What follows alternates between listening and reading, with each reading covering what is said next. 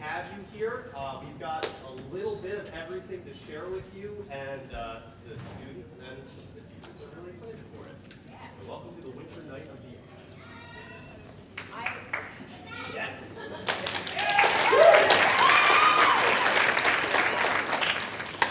I am Lindsay Wheeler. I am the visual arts teacher here at RU. The art show is in the Media Center Library, which we will open back up after the performances. There's also a book sale going on in there. So please go and see all the wonderful art your kids have been doing this year. I'm Miss McEwen, the theater arts teacher here at the high school, and I just wanted to remind you, although I'm sure some of you do not need reminding, that today is 10 days, not 10 school days, 10 calendar days, since our school was shut down for three weeks. The students on stage tonight have put this show together for you, despite not having access to this space, to rehearsals, to their costumes, props, instruments, and to one another. And we are incredibly proud of what they have accomplished. We are also grateful to their parents and caretakers for raising such resilient and adaptable kids. Thank you so much. I hope you enjoyed the. Absolutely deserve it. Have a great show. And please silence your cell phones.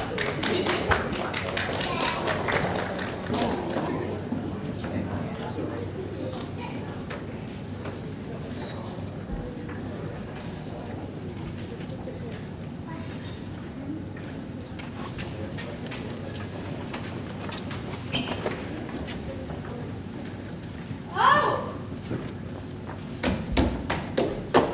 Sorry. Good evening, everyone, and welcome to our winter celebration of the arts. I am Eddie One, and this is Eddie Two. We will be your narrators for this evening's show. Hi, everyone. Our first play, The Final Interrogation of Ceausescu's Dog, takes us to a small room in Bucharest, Romania. It is New Year's Eve, 1989, six days after the dictator of 24 years was executed. Being interrogated in this scene is the loyal dog of Nicolae Ceausescu. What is at stake is the dog's life. Remaining loyal to the deposed dictator carries a penalty of death. Whoa, is that a true story? It's based on a true story. So the dog is real?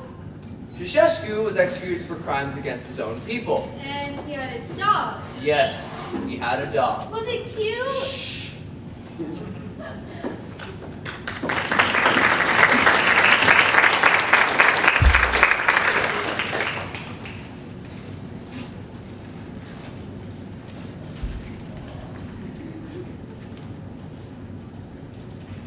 The people believe you are beyond reform. Some want you to suffer, others to die right away. Because ours is now a just and fair system, you're entitled to make a statement. What do you have to say for yourself? I am Shesky's dog. His daughter's dog, actually, but she's rather unstable. Even though he gave me to her, I've always seen him as my true master. Your master was a cruel and ruthless tyrant who brought misery to his people and shame to his nation. I am dog Shishku, and my relationship with him is a relationship of man to dog. You do acknowledge that your master was a tyrant. No, the wife can be a bit stern, I will say that, and the daughter, as you say, has many moods. But I'm my master's pride and joy, and I've known nothing but love and affection from him. We are talking about the most reviled despot in our nation's history. You do realize that anyone still loyal to him is subject to the death penalty? Listen, where is my master? Let's straighten this whole thing out, and you'll be sorry. Let me tell you. Your master is dead. He was shot, like a dog, in the courtyard as he tried to flee the people's wrath on Christmas Day. He travels a lot, you know. Just last month he was in Iran. People love him wherever he goes. He told me so.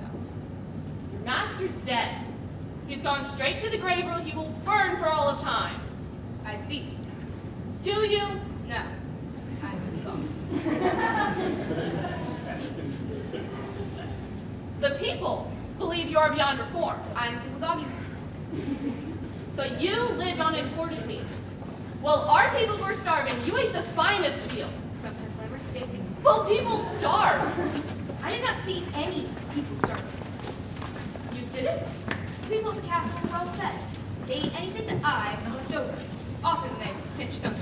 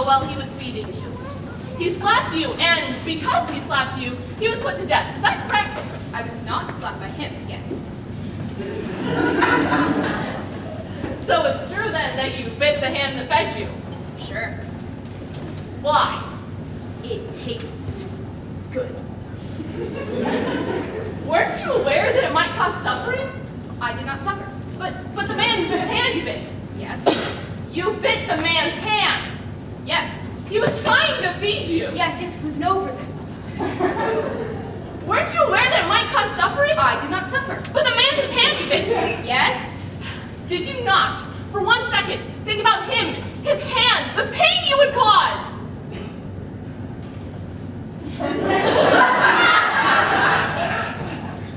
His hand was here. He did not bite it. He should not place it so near my teeth. Listen, where is my master? Let's straighten this whole thing out. Your master is dead. You don't know him. The interrogation cannot end until... In your home, you had an oriental rug. It was Bukhara. A Bukhara. Yes, I liked the feel of it, but its taste is nothing you're excited about. And this rug was red, was it not? The same color as the blood shed by our people under the hand of your master! Again, I liked the feel of it, but the color, that was for them. I do not see color, you know. I'm simple dog. You are simple dog. Yes. Then fetch! Pardon? Come on! You're a simple dog. Fetch! You are kidding. Jump up! Jump up, little doggy! Come on! Are you kidding? Do you know who master is? He's not coming back! Well then, I'll just sit right here and wait for him to come back. You may go. When I want something, I'll let you know.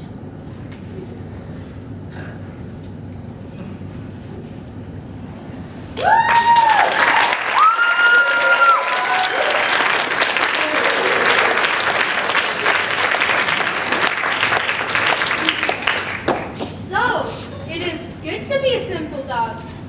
No?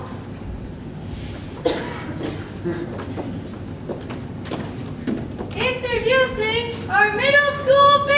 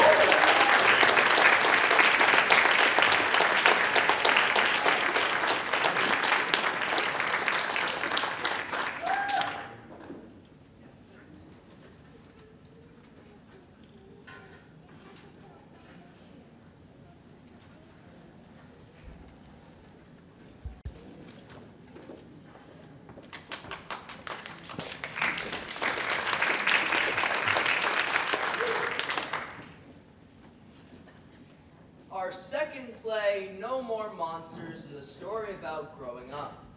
Our main character, Zella, has just turned 13. I haven't turned 13 yet. I hear it's a hard age. Exactly. Anyway, Zella wants nothing more than to be a full-grown te- teenager like her sister, Cammy. What's wrong with being a kid? Honestly, that's a good question. Shh.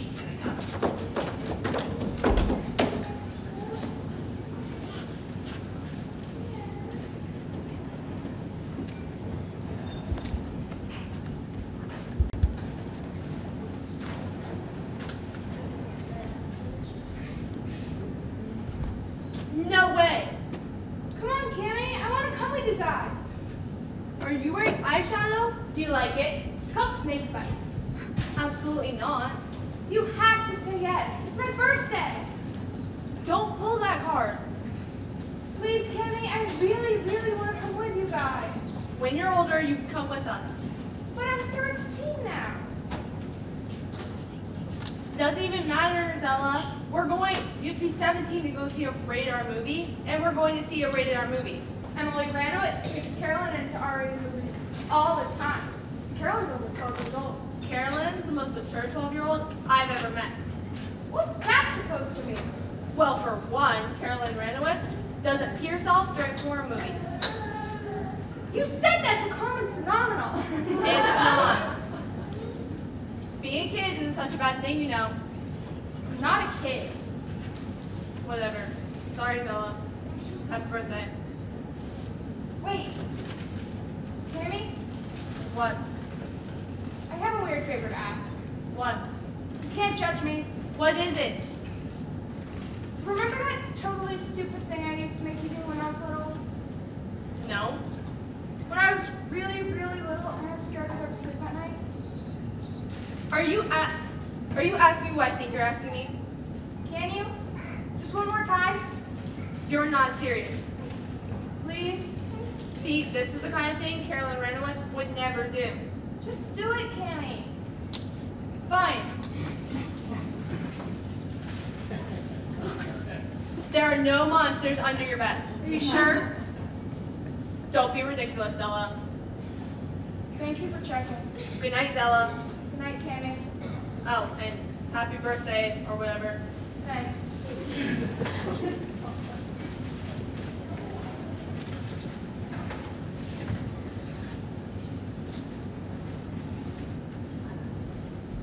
Zella Montero! what the heck? I could have died, Zella. I could have died if your sister saw me. I know. Well, what's that supposed to mean? Well, today's my birthday, and You don't think I know? I came prepared. It's just a little something. are those my socks? All the ones you thought you lost over the past year. I've been saving up. I was looking for those. Well, look no further, because here they are. Happy birthday. Is it a heart? Do you like it? Is that my soccer sock? Am I wool winter sock? Two winter socks, your purple ankle sock, and your blue slipper sock. Could have really used those socks, Bogey. I, I wanted it to be a surprise. You used to like my surprises, you know. I'm not surprised. I'm disappointed. What am I supposed to do with this? I'm sorry. I could have eaten them, you know. That's what I usually do. What?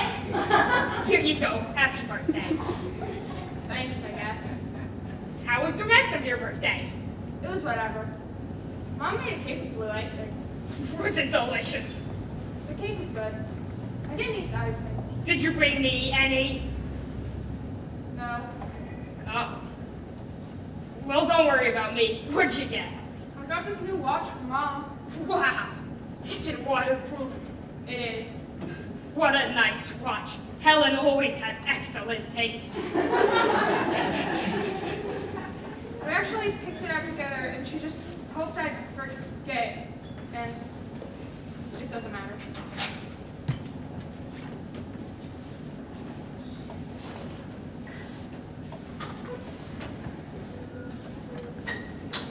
Did you just try to kill me? I think we should talk. About how you just tried to kill me? you tried to get your sister to kill me. Hold on a sec.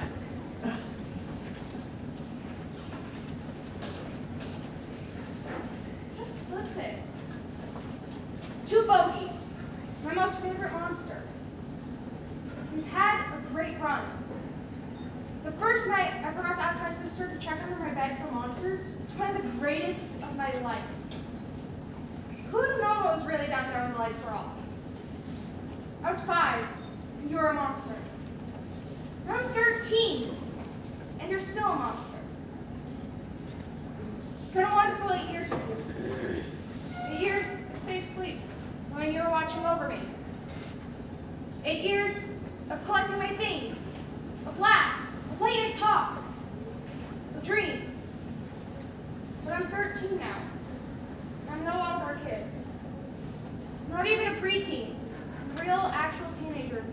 Just basically an adult. I hate to do this, but I believe it's officially time we parted ways. It's time for me to grow up. Time for no more monsters.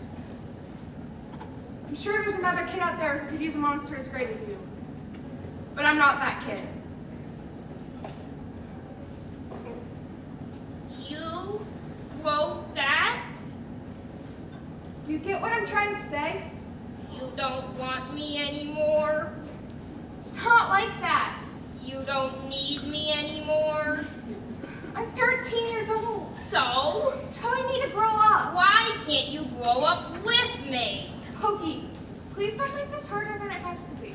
How can it be any easier when you're breaking my heart? Oh, Bogey. Bogey, please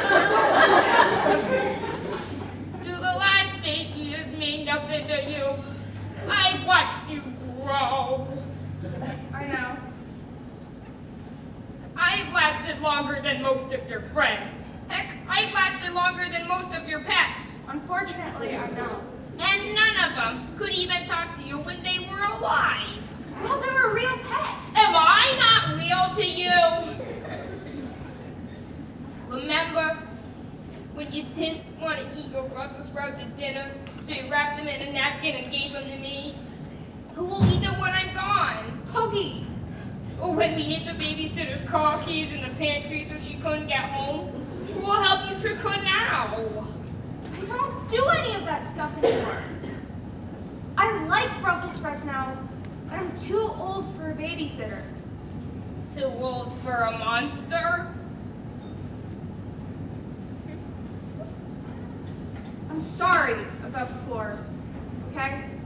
I'm sorry about Cammy. It was a stupid idea, and I shouldn't have done that. You're right about that. That was cruel, Zella. That was a cop-out. You could have talked to me in person like the adult you're trying to be. That hurts my feelings. What about my feelings? You don't think trying to kill me doesn't hurt my feelings, huh? Think again. Don't you get why I have to do this? It's not easy for me either, you know, but we just have to go our separate ways. 13-year-olds don't have monsters. Do I embarrass you? What did you think was going to happen? Would you just go on living under my bed for the rest of my life? What about when I move out, and go to college, and have a roommate? Or when I get married and share a bed with someone else? It's just bound to happen someday for. It was inevitable. Look at you and your big words.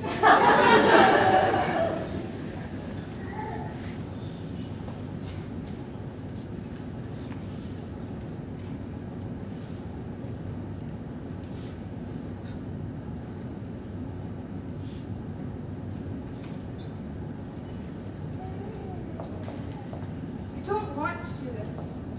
Yes, you do. Because you want to grow up, right?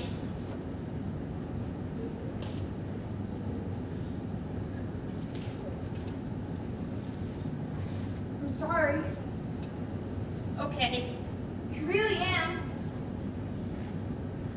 Wait, where are you going? Why do you care? I want to know.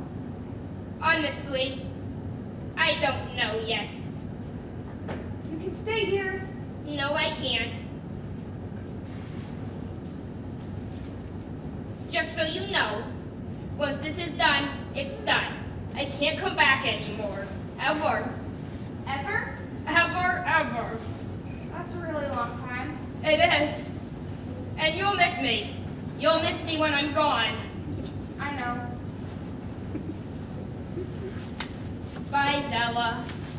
Bye, Bogey. And happy birthday. Thanks.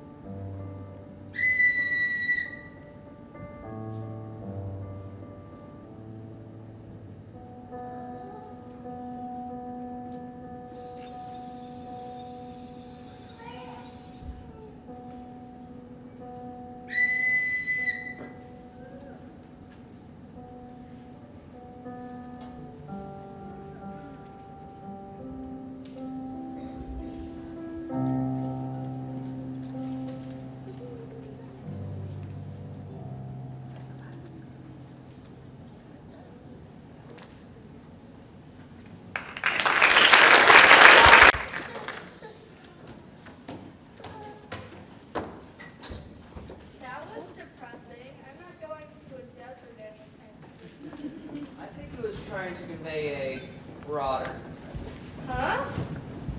Life can feel frustrating for all of us. The arts, all of them. They can broaden our perspective, give us a voice, lift our spirits. And that's what Are You Rockin' hopes to do right now.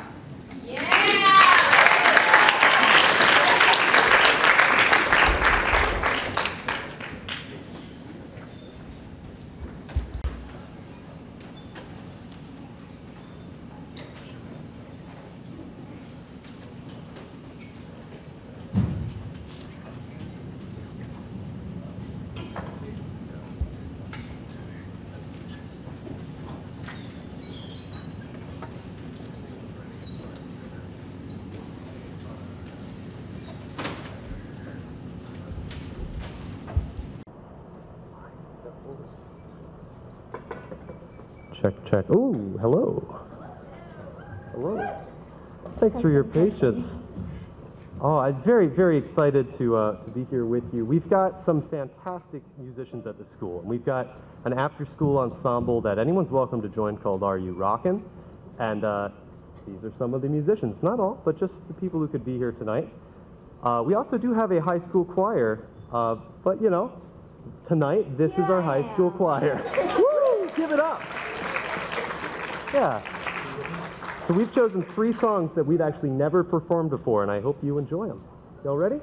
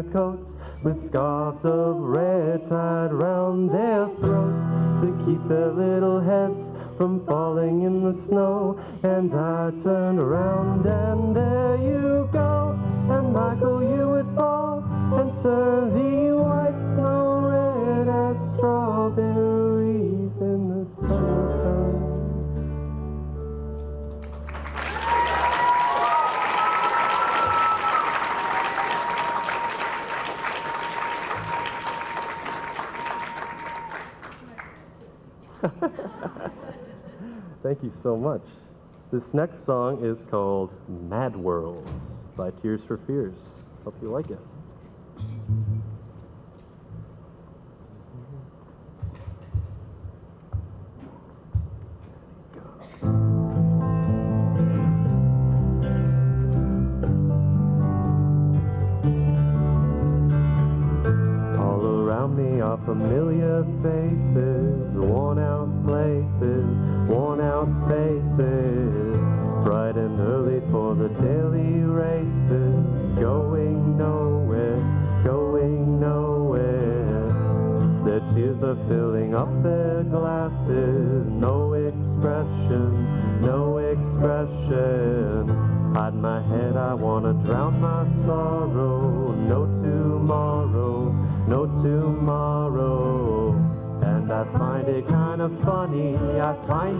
The dreams in which I'm dying are the best I've ever had. I find it hard to tell you, I find it hard to take. When people run in circles, it's a very,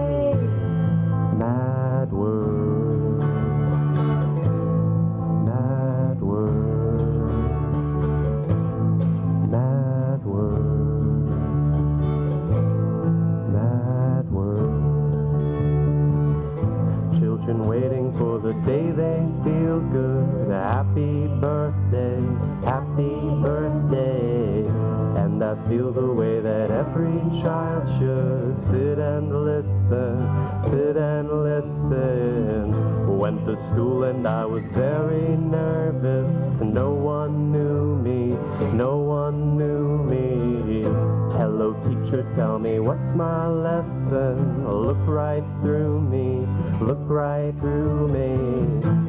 I find it kind of funny, I find it kind of sad.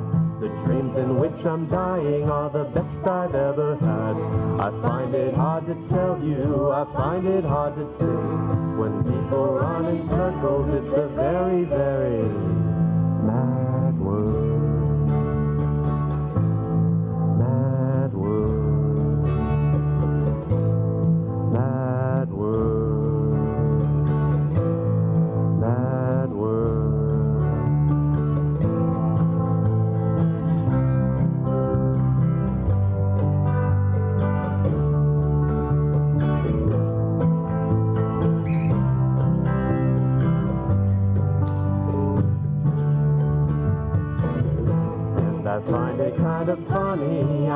Kind of sad. The dreams in which I'm dying are the best I've ever had. I find it hard to tell you, I find it hard to take. When people run in circles, it's a very, very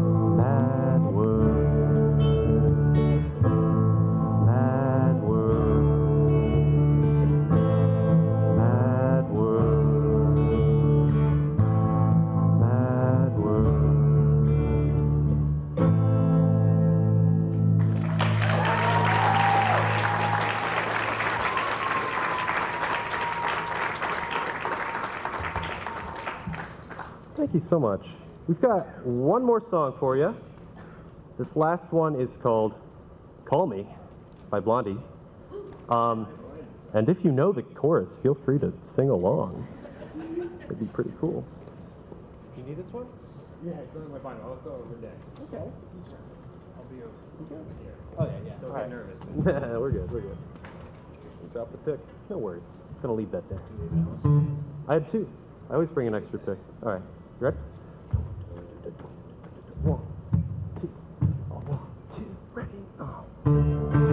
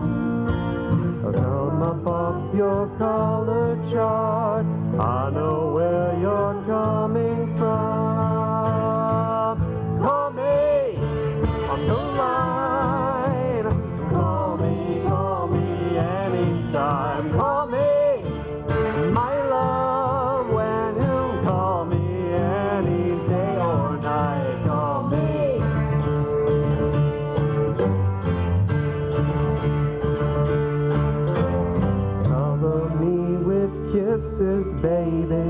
Cover me with love. Roll me in designer sheets I'll never get enough. Emotions come, I don't know why. Cover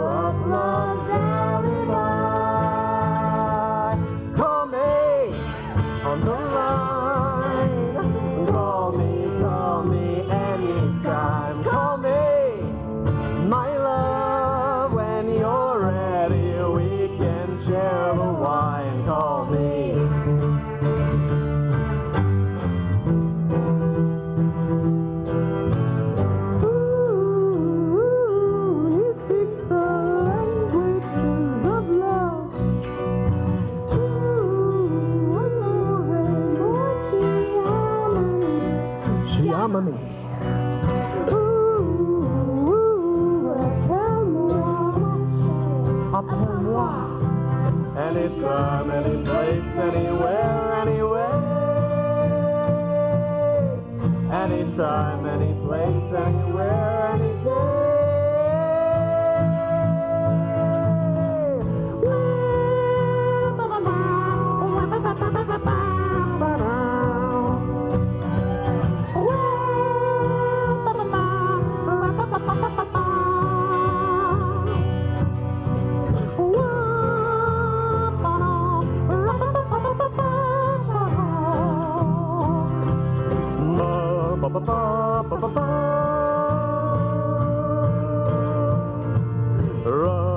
Call